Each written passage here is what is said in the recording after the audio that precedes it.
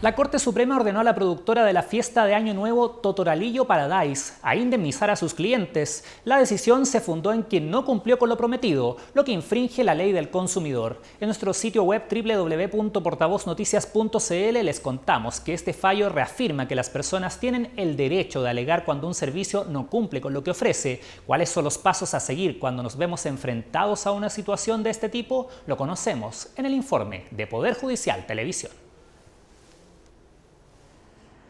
Estos fueron parte de los comentarios que reflejaron la molestia de los asistentes a la fiesta de Año Nuevo 2012 en Totoralillo.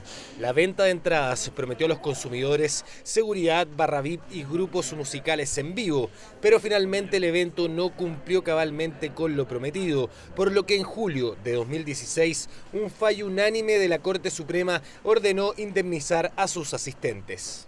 Nosotros hemos hecho relevancia de que los fallos de la Corte Suprema han significado una mayor protección a los consumidores, que ha interpretado correctamente la legislación vigente y ha significado que el CERCO, se ha ido corriendo gracias a esos fallos. En los antecedentes conocidos en primera instancia por el tercer juzgado civil de Coquimbo se acogió la demanda en defensa del interés colectivo de los consumidores. La empresa proveedora fue condenada al pago de indemnización a todos los usuarios afectados que hayan realizado la denuncia los dos primeros días después del evento. Deben devolverles el dinero correspondiente al valor de la entrada, 15 mil o 20 mil pesos. Cuando se trata de demandas que afecten el interés colectivo o difuso de los consumidores, ahí entonces la ley tiene una regulación distinta y autoriza a que sea o el CERNAC o un grupo de consumidores,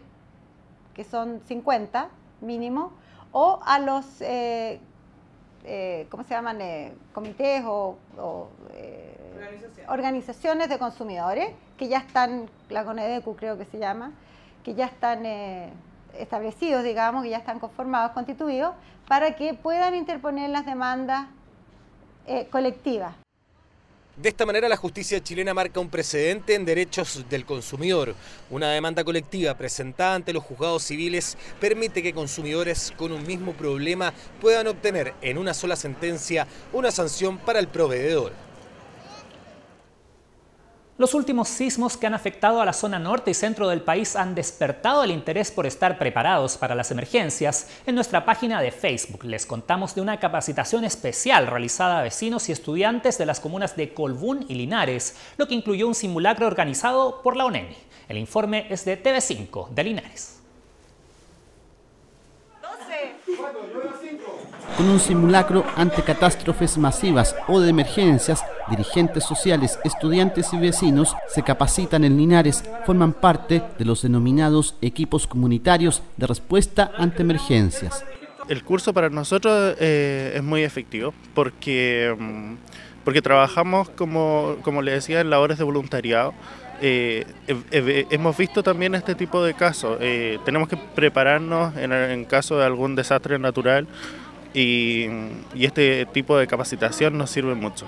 Esta modalidad de trabajo ante catástrofes fue adaptado desde Estados Unidos por la ONEMI. Hemos enseñado búsqueda y rescate suboficial, eh, eh, combate de incendios pequeños, eh, triage, psicología de la emergencia, a estos dirigentes sociales, a estudiantes y a la comunidad de diferentes comunidades de la provincia de Linares, dándoles herramientas para que puedan actuar ante una emergencia. Las primeras 48 horas son de la gente cuando tenemos una gran catástrofe. Primeros auxilios, rescate y combate de incendios formaron parte de la instrucción.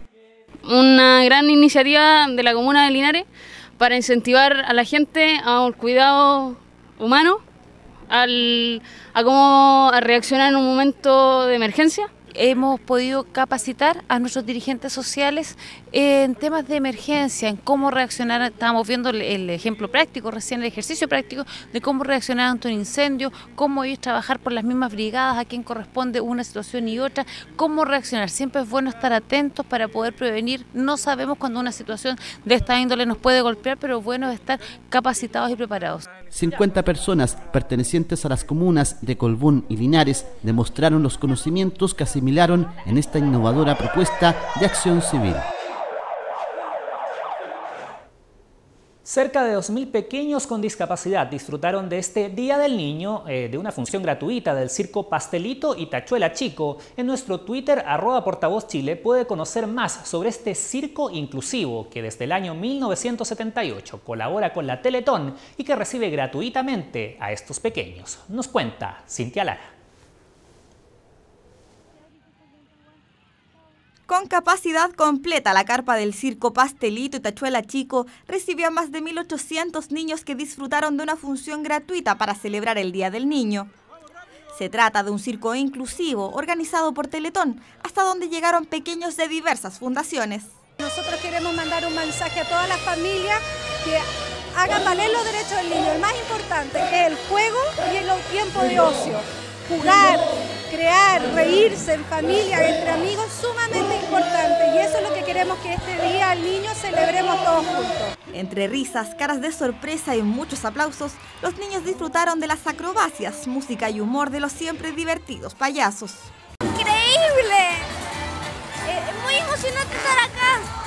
Me mucha la risa que, han sacado. Harta risa.